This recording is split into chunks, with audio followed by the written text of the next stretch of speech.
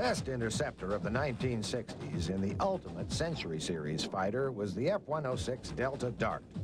This elegant fighter had the highest performance of ADC's new types, but would be the last aircraft to be designed purely as an interceptor.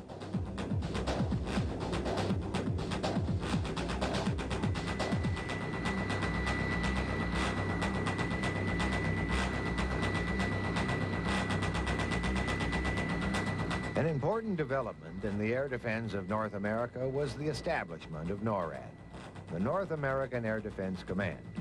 This was created jointly by the U.S. and Canada in 1958, with a U.S. commander and a Canadian deputy. The organization controlled a complicated system of early warning radars and interceptors.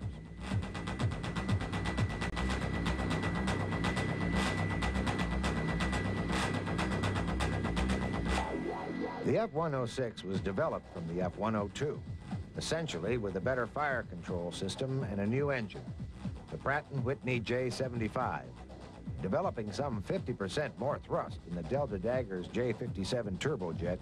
This gave the F-106 a top speed of Mach 2.4.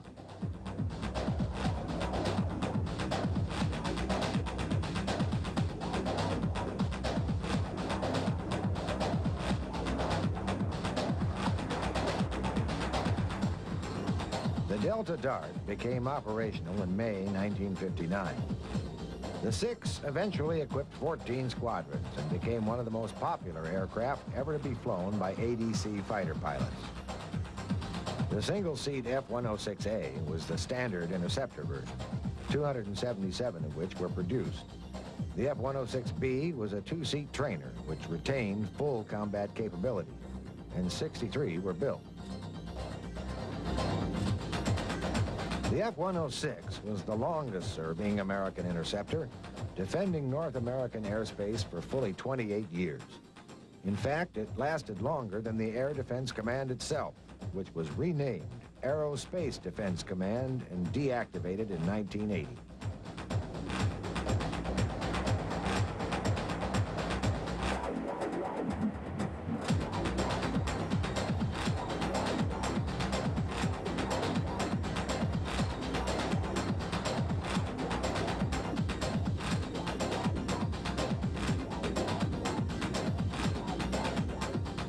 Due course, Air National Guard units that support the air defense mission acquired F-106s.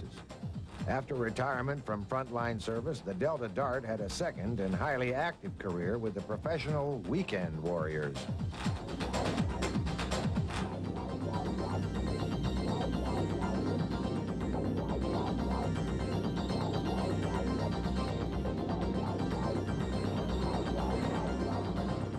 Last of these guard units at Atlantic City, New Jersey, made the last operational sortie of an F-106 as late as 1988.